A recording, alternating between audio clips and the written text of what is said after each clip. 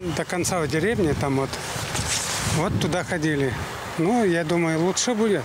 Если точнее, до единственной автобусной остановки в деревне Касатуриха пешком минут 30. А вот до трассы, по которой идут маршруты, в город рукой подать, причем из любой точки населенного пункта. По просьбам жителей Касатурихи новую автобусную остановку строят в более удобном месте.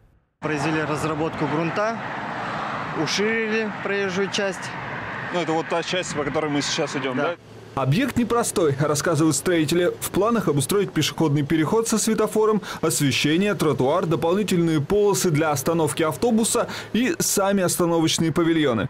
Также на данном объекте был выполнен большой комплекс земляных работ, э, устроены новые водоотводные куветы. Объект пока находится в стадии 50-60%, наверное. Планируем его завершить конец октября, начало ноября.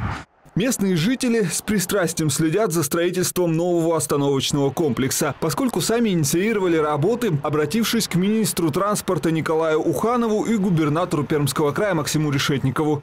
Территория Пермского района интенсивно застраивается и ведется индивидуальное жилищное строительство. Населенные пункты разрастаются. Соответственно, расстояние до существующих автобусных остановок оно увеличивается. Через новый остановочный комплекс в Касатурихе будут проходить автобусы до Усткачки, Югокамска, Краснокамска, села Рождественское и Перми. Роман Лабурец, Владислав Рашидов, телекомпания «Ветта».